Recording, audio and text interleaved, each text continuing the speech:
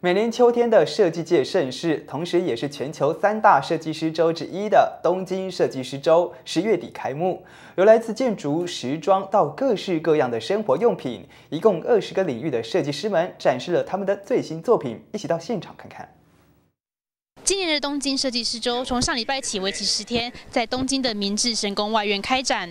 这次的出展内容从建筑、室内设计、时装，还有各式各样的发明，光是设计种类就有二十种，还有来自各个大学设计相关科系的学生参展。快速移动的物体呈现动画视觉效果，象征一件设计作品从雏形到完成的全过程。现代人时刻不离手的手机也成了艺术品，还有这个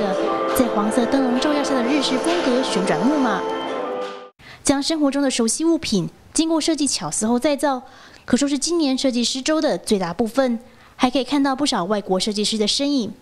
凭着喜爱旅行的理念，来自意大利的设计师做出这款可拆解的鞋子。People with a different tradition can share the beauty. So Italian people have the have uh, the knowledge and make good shoes, and Japanese have uh, a great sense of the beauty and um, sense of uh, elegant pattern, you know. And so we can match A and B, and B together, and so we can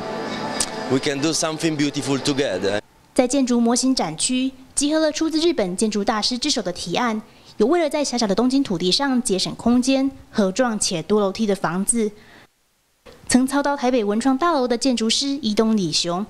设计出与周边森林景观相连的体育场。这次共有来自日本国内的五十一所大学参展，许多学生的作品结合了趣味与充满新意的点子。花が中に入ってるんですけれども、こちらをそのプリズムシートで覆うことによって、まあ。 いろんな角度から見ていけば分かるんですけれども角度によって花が二重に見えたりあるいは全く見えなくなったりそういった表情を持つ作品になってるんですね。花の美しさっていうものを今度僕たちはもっと変えていこうと。还有一整列货柜屋设计作品可让参观者亲自体验。身为亚洲最大的创意城市东京设计师周与米兰伦敦名列国际三大设计师周如今已是每年秋天设计界的盛宴。新唐人记者刘诗勇，于日本东京报道。